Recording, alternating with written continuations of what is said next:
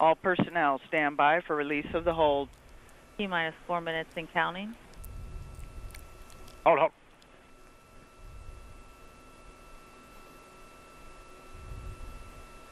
Hold, hold, hold. And we've released the uh, countdown clock. However, uh, there has been a call to hold. We're counting down to the remaining launch window.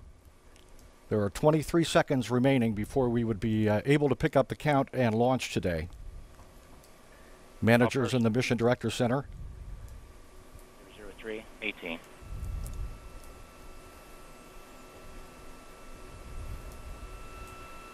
SSC perform T minus four minute recycle. And Active. the launch window has expired for today.